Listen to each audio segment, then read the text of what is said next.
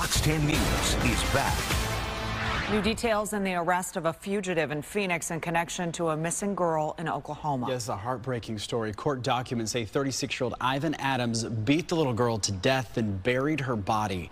Adams' wife, Alysia, told investigators it happened on Christmas morning. The couple were caregivers for the four-year-old little girl named Athena Brownfield. Law enforcement has been looking for her since last week when a postal worker found Athena's five-year-old sister wandering alone in a town southwest of Oklahoma City. Adams is charged with first degree murder and child neglect. His wife is also charged with child neglect.